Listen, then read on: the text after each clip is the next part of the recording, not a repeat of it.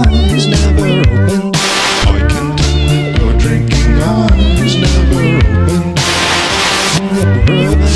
eyes never